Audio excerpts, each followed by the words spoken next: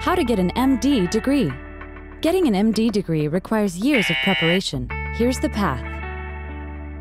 You will need a bachelor's degree, volunteer experience, a high score on the MCAT, acceptance to medical school, and completion of a medical school program. Step 1. Earn a bachelor's degree from a four-year college. Your particular major doesn't matter, but you should have completed pre-med coursework and earned a high GPA. Step 2. Take part in extracurricular and volunteer activities. Medical school admissions committees look for volunteer experience, exposure to a clinical setting, and extracurricular activities in applicants. Step 3. Take the Medical College Admission Test, or MCAT, and obtain the highest score you can. The MCAT consists of four sections physical sciences, biological sciences, reading comprehension, and writing. Step 4. Apply to medical school. If your GPA and MCAT scores are high enough, you'll get accepted. Step 5.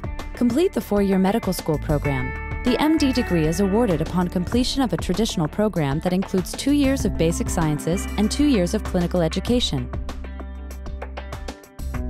When you've earned the degree, you can answer yes to the question Is there a doctor in the house? Did you know? There are 125 medical schools in the United States.